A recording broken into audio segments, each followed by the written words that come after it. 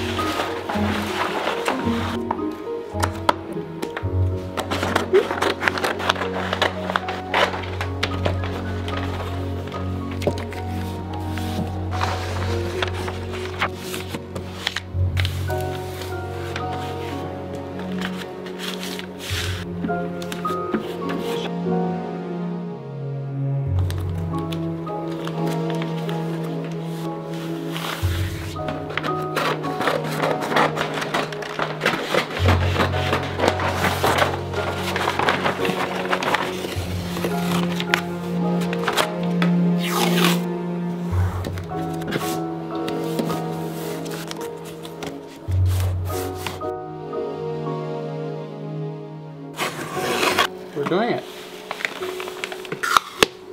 Wow, what a present.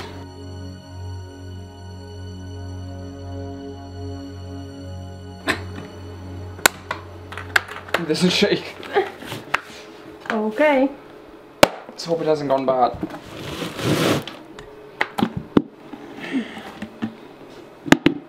Looks good. Wow! I thought it was ice. Put it a protective layer. uh, I need the trash bag. I guess we don't need that? I would hope so not. I literally got scared that it was uh, from. Yes, I was like, what is this crystal? I literally.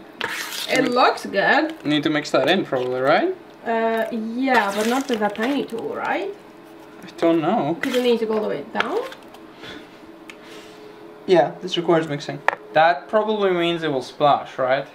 We Um, should not. we should probably, just to be careful, put another plot, like, Or we can go in the corner. yeah.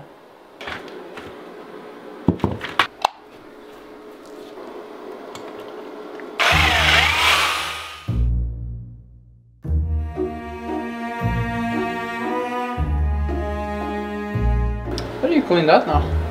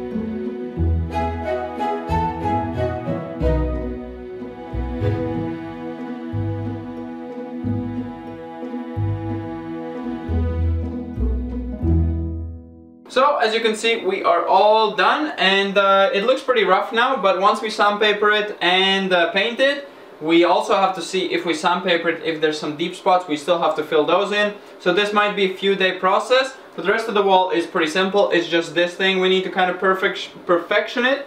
So we're gonna end it here because this will take uh, quite a while to dry and then we're gonna get on with the next video. It's gonna be sandpapering and painting straight away so it's gonna be all done. We didn't do that corner there. That's uh, gonna get a wood in the corner. There's gonna be a wood on the bottom. Top, we're not gonna put any beautiful wood because first of all we have to do the ceiling and then we're gonna make it all nice and flush. But yeah, that's pretty much it. Hope you enjoy. We're gonna see you next time. Bye bye. That was pretty fast. How fast did we do it? Um, two hours together with taping.